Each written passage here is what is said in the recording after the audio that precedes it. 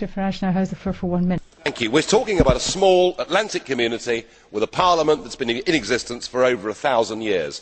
We are talking about a place with good levels of education.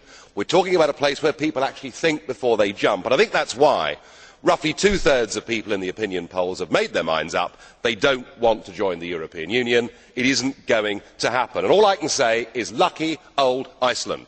Because they were not part of this club, because they did not surrender to the euro, they have had a competitive devaluation of the krona which has been good for their economy. It has led to a tourist boom and I would have thought countries like Greece would be very jealous of them. and They have got a two hundred mile exclusive economic zone for their fisheries which they won during the cod wars with britain back in the. one thousand nine hundred and seventy s. do not sacrifice it do not give it away do not trust your own career politicians because if you do this lot will take your greatest renewable resource from you.